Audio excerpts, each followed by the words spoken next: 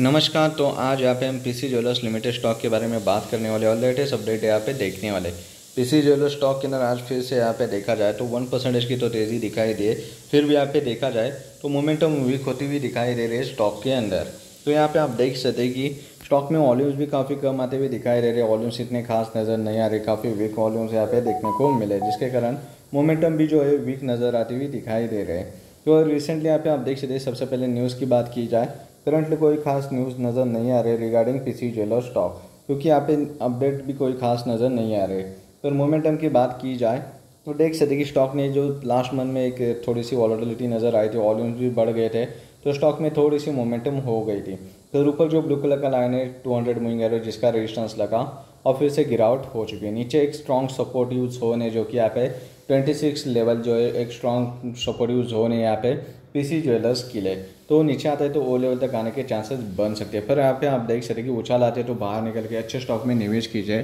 जहाँ पे आपका लॉस भी रिकवर हो सकता है और आपका टाइम भी बच सकता है। आपके एनालिस से पूछकर आप डिसीज़न बना सकते हैं।